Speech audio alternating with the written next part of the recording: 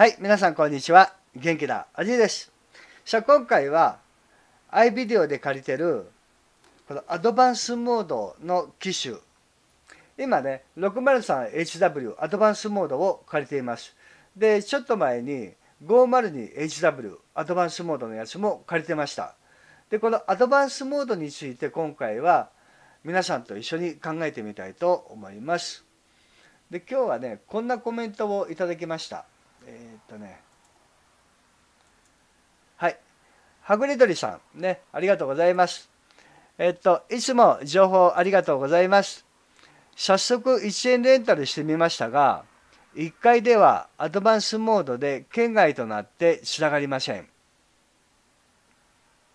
で、2階のベランダに持って行って、やっとアンテナ表示が出ます。速度は約1メガ BPS ほどです。うちは千葉県の習志野ってところで、アドバンスモードのエリアマップでは使用可能地域なんですが、アドバンスモードってこんなものでしょうか。ねまあ、今回のレンタルで試して使えるようだったら長期契約しようと考えてたんですが、これでは心配で長期レンタルに踏み切れません。ね、アドバンスモードでないならつながりやすいのでしょうかね。ということです。えっとね、まずその、まあ、ズバリのおじいの結論から言うと、アドバンスモードでないならつながりやすいかどうかというと、アドバンスモードでない方がつながりやすいです。でも、そのお住まいの地域で快適に使えるかどうかは分かりません。ピンポイントなんでね、分かりません。それで、このアドバンスモードで、その1メガ BPS 程度しか出ませんっていうね、ベランダでね。で、その時間帯、それまでどうなのか、その、おじいが今検証しているのは、YouTube の動画のみの動画視聴制限というやつです。1メガ BPS ね。で、アドバンスモードの1メガ BPS の制限だったら、3日間の合計があの 10GB に達成したら、達成というか 10GB を使っちゃったら、あの翌日の18時から翌2時まで、ね、翌々2時までこの8時間の間速度が1メガ BPS にあのこう限定限定というかもう抑えられますよっていうね、まあ、そういう規制になります。でそうなっちゃうとねあの、まあ、できることが限定されるんだけれども Y モバイルの1メガ BPS というのは、まあ、あのそんなにね困るような速度ではないです。YouTube の動画とかが高画質で見れないっていうだけであとその他やりたいことは大体できます速度があのもう遅くてもうあのブラウザも出なくてわあイライラするって1ページ表示するのに時間かかってわこんなんじゃやってらんないとかねあの例えば LINE でペロリンって写真1枚ポンって送られてきたらなかなか表示されないってうわってうわやってられないっていうねそういう規制ではないです。1メガ BPS は普通に使える速度になります。で一方あのソフトバンク回線で契約している場合の規制を食らった場合はこれ 128kbps なんでこの1メガ BPS よりあのかなりかなりもうあのできることが制限されます。もうほぼほぼ何もできないと考えてもいい。何もできない。あのもうこれがあの使えるよっていう人はあんまり聞いたことがない。ね、Y モバイルの1メガ BPS の制限は、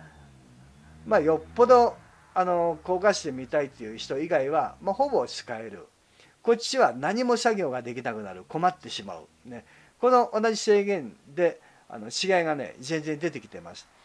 で今回のこのはぐれ鳥さんの情報から言うと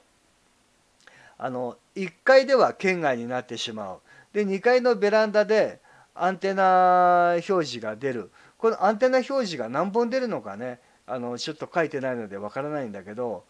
まあこれはね条件だと思います。じゃあそもそもねアドバンスモードって何なのか簡単にサクッとね、うん、あの欠点だけちょっと上げてみたいと思います。はいアドバンスモードの欠点、ね、あのエリアが狭い。都市部に限定される。これ日本地図でねあのアドバンスモードの対応エリア、ね、紫であのバーッとこう見ることができるんだけどこのはぐれ鳥さんの場合はその千葉県の、ね、習志野でうちのエリアはアドバンスモードに対応してるエリアですよだけども使えないよっていうねまあ、そういう情報です。それは多分おそらくここだと思います。アドバンスモードで使ってるこの AXGP は電波の特性上障害物に弱くつながりにくい。ということがあります。ではぐれ鳥さんのその1階と2階っていうからね、まあ、多分1階2階っていうとあの一戸建てだとは思うんだけれども周りがどうなってますかっていうね。周り。とにかく障害物に弱いです。アドバンスモード。でそのルーター自体をあの窓際に持っていくとか部屋の中とかあとその建物がコンクリートなのかね、それともあの木造なのか、まあ、それによってもねだいぶ変わってきます。本当ね、とにかく障害物に弱いです。でおじいの昨日アップしたあの要は速度対決304と603の速度対決で病院の5階で速度対決して使えてました。でもその病院の1階の駐車場、ね、1階。病院の建物があって1階のここに駐車場があって吹き抜けになってます横はね。でも上上は7階建ての建物になってるのであのコンクリートでねガーンと覆われてます、ね、でここの比較的隅っこの方の駐車場に置いてあの1階分ねコンクリートの柱があるだけでまあ一応風通しもいいし見通しもいいところなんだけどそこでは県外になってしまいました条件がねあの悪かったんだね結局ね。そういうことであのこの障害物にねものすごい弱いです。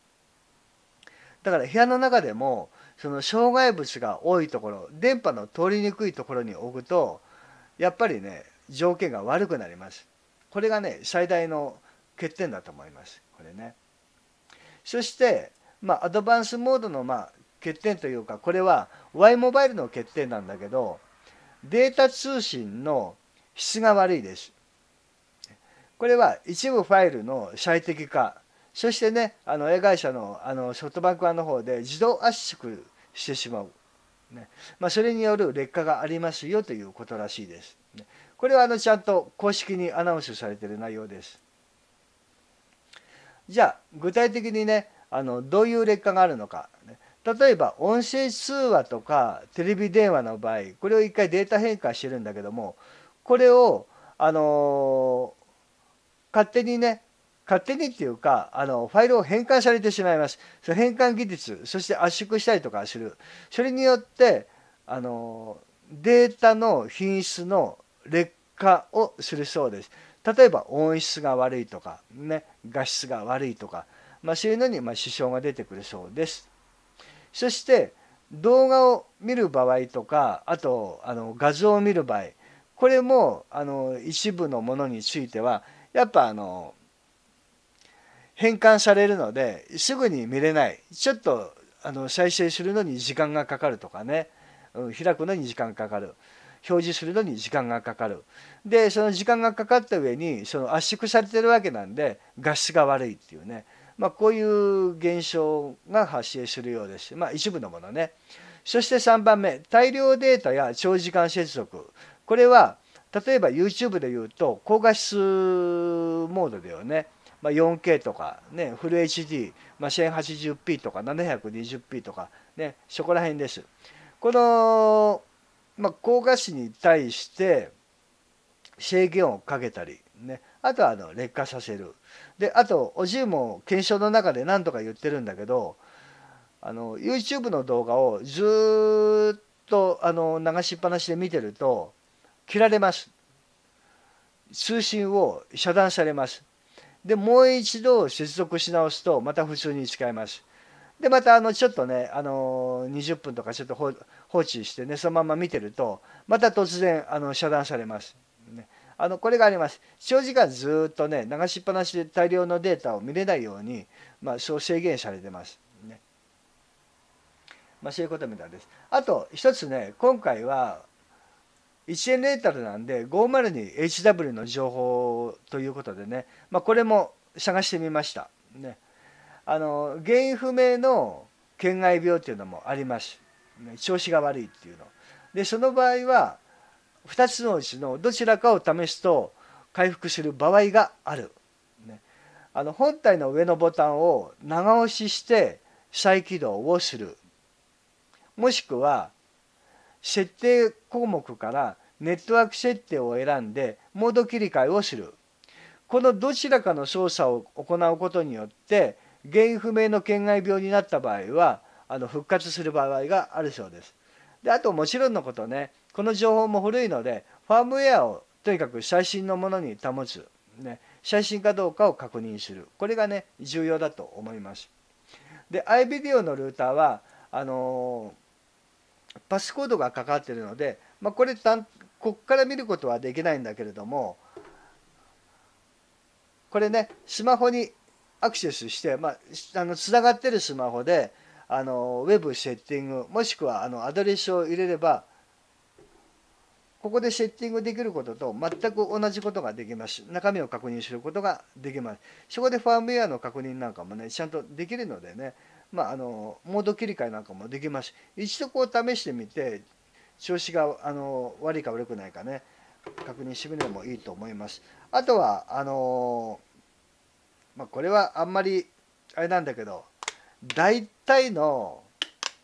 個体差による不具合というのがあります。たまに静電気が溜まったりとかね、あのずっと使ってると調子が悪い場合があります。で、そういう場合は、これ裏蓋取って、バッテリーを1回抜いて、で、あの、2、3分ぐらい放置しとく。完全に放電するまで。完全に放電するまで、バッテリー外して放置しとく。そしてまた元に戻して、電源を入れて使ってみるとあの調子が良くなるというかね正常に戻る場合が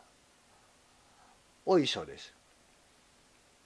あの過去 iVideo のえっ、ー、とね誰の情報だっけかな。えっ、ー、とちょっと記憶にあるんだけどえっ、ー、とね誰だかな。あのちょっと名前パッと出てこない。ごめんあの眼鏡かけたあの方だよね。あの突然従わなくなった。調子悪くなったということで。であのダメ元でバッテリーを外したらね「ああ元戻ったよ」ってね。一応あの調子が悪いって連絡したんだけどってね。交換しないで済みましたってね。でも一応そのあのあ高木さんだ。高木さんね。であの次回また同じような現象が起きたらあのまたバッテリー外してあのリセットしていいですかって言ったらね。あの高木さんの場合はあの次回同じような症状が起きたら交換しますのであの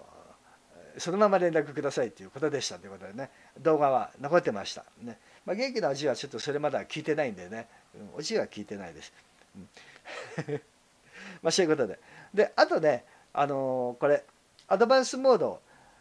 ここで速度対決する限りあの出る時は出ます。あの50メガぐらい出ますでこっちはね10いくつ20出ることはまあほぼないよね。で昨日海とかちょっとあのあちこちで検証してみて出る時は出たね。あの20超えダウンロード20超えでアップロードもね20超えたのがあった。びっくりしたけどね。ここであんま出ることがないんで。だ場所によって本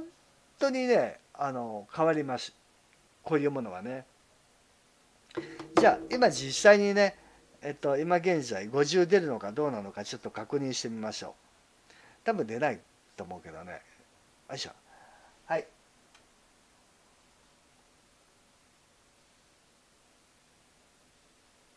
ぐーん。ほら50は出ないでしょ。ロジクールだからピント合わなくて。よいしょ。ごめん。ふらつくんだよ。これがロジクールの欠点。ねアドバンスモードの欠点みたいなもんなんだよ。ロジクールのウェブカメラはオートフォーカスがね苦手なカメラなんだよね。どのメーカーよりも。ここが唯一の欠点です、まあ、ロジクールのアドバンスモードみたいなもんだね。はい結果が出ました。で38.6で50出ないよね、まあこんな感じです。このあのアドバンスモードに関して iVideo の場合やっぱねあのお試しセール1円で出す理由っていうのがねやっぱ使える使えないっていうのがね大きいと思うんだよ。一度使ってもらわないとわからない。で、アドバンスモードのエリアに入ってるのか入ってないのかとか、その場で使えるか使えないか、本当不安な人が多いんだよね。だからとにかく一人でも多くの方に使ってもらいたいということであの1円のお試しやってると思います。であとあのまあ、そういうこともね、まあ、してもしたくてもそのアドバンスモードで借りたんだけれども自分のところではちょっと使えなかったっていう方は別の機種に差額を払えば交換してくれます。iVideo はねそういう保証がねちゃんとあります。他のところだとあんまないでしょ一回借りてもう契約しちゃったんだからそれはそれで使い切ってくださいしってそういうところが多いと思います。ね、で例えば iVideo であの半年の契約をしたけども、まあ、3ヶ月目にもうちょっと使わなくなったからねあのね解約しますって言うと使ってない残りの3ヶ月はちゃんと返金してくれますね。例えば、まあ、楽天のねとあるレンタル会社だとじゃああの180日プランでレンタルしました。じゃあ90日で必要なくなりました。じゃあここで解約したい返したいんだけども返金してくださいって言っても返金は1円もしてくれません。それ180日プランの商品として落札したからもうあの返金はできませんということでね iVideo の場合はまとめて長期プランで契約してもお金は返してくれます、ね、ただ長期プランの場合値段が変わらないんだったら使わない分戻ってくるんだけどあの長期間によってねあの期間によって値段が変わってくるようだったらその、ね、安い値段で長く長期して短期でやめるわけだから当然支払う金額は短期のものにちゃんと再計算されますね。まあ、ここの違いはあるんだけどもね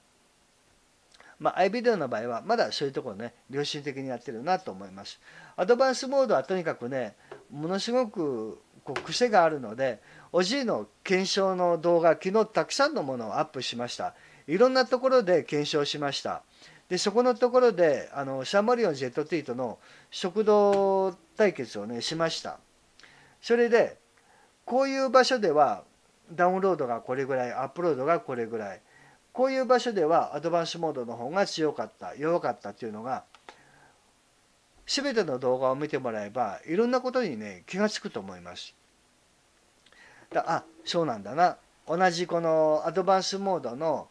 ハマってるエリアなんだけれどもちょっと場所を動いただけでこんなに違うもんなんだってね。じゃあ例えばそのピンポイントで地球地球レベルで見てピンポイントでこの地点のね、建物の5階でちゃんと受信できるのに1階で受信ができないんだなとかね。それは電波の特性上障害物に弱いからです。だからアドバンスモードでなくて普通の標準モードだったらそういうことはないわけです。あのサンマリオン ZT とあの同じような形でね安定して使うことができるわけですじゃあ、あのー、そのアドバンスモードでないやつであの安く使いたいなっていう方はあの Y モバイル回線の方じゃなくてあのソフトバンクが回線の方のやつがおすすめです。で 601HW っていうのがあります。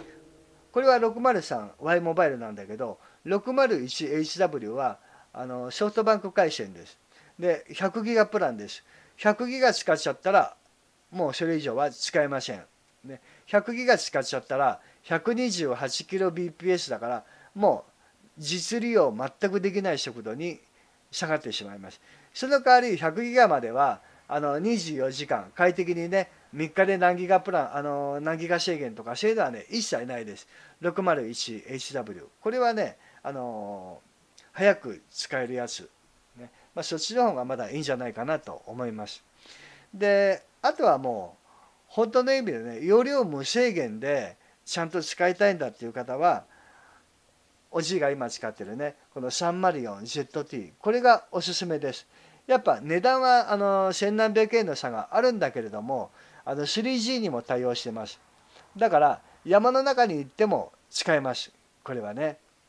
だ今のシーズンだったらスキー場に行く方も多いでしょうねスキー場に行っても使えるのがサンマリオン ZT ですね、あの 502HW とかこの 603HW アドバンスモードで、あのー、山に行っても使えません。シャンマリオン ZD だったら使えます。ね、この違いがあります。601HW でも山がつながります。ただ100ギガ使ったら終わっちゃいます。ねまあ、あのいろんな形でね選ぶことができると思います。そういうことで今回はあのアドバンスモードのね決定について簡単にお話ししてみました。まずは元気なおじいの昨日ものすごくたくさんねあのデータをアップしてます。サンマリオン ZT と 603HW の速度対決ねあのまあ海のところを中心にあとそこからねアドバンスモードがあのあの切れちゃうギリギリのところのねちょっとこう山登ってみたりとかそこの検証データがねいろいろあります。なのでそれもね参考にしてみてください。もう条件アドバンスモードはねあくまでももう条件で変わってきます。本当に。エリア内でもちゃんと快適に使えないことがいろんな条件がねあります。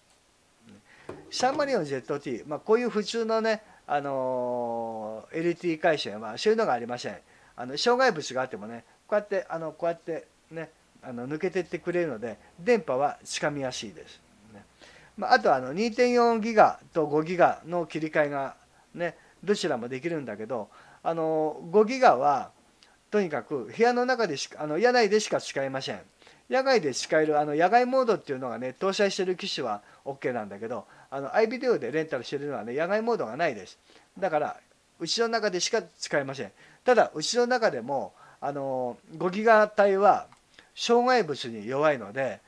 5ギガ帯だから早くスピードが速く出るって、まあ、確かにおじいの検証でもちょっと若干速く出るんだけども障害物があったらアウトです。今ガラーンとしたこの状態のとこでこれの電波のやり取りもいいしこことの電波のやり取りもいい状態でやってるから早く使えるんだけどこのあの障害物が多い状態で条件が悪くなった時